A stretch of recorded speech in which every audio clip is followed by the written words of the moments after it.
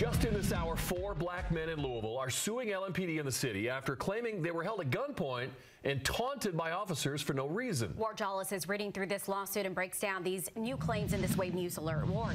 Yeah, John Maira, the lawsuit is filed by four men who have known each other since childhood and now work together at UPS. But in this lawsuit filed yesterday, they say what started out as a simple trip to Burger King turned into a terrifying experience for them. The lawsuit says on February 10th of last year, the four men were getting together to tour some potential apartments, but stopped at Burger King to grab some food. It says after they picked up food from the drive-thru, they parked in the parking lot to eat, but then were immediately ambushed by four police officers in unmarked cars who jumped out and held them at gunpoint.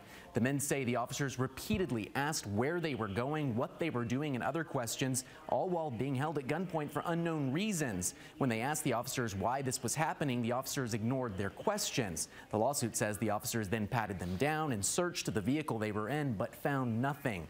The four men are now suing both LMPD and the city for damages. Their attorney saying, quote, not only have the plaintiffs suffered the said potential adverse health effects as noted by the DOJ, but now any of their future male children born and or raised in the Commonwealth of Kentucky's largest city will also most likely be affected. Their attorney argues that this search and interrogation violates their Fourth Amendment rights against unreasonable search and seizure.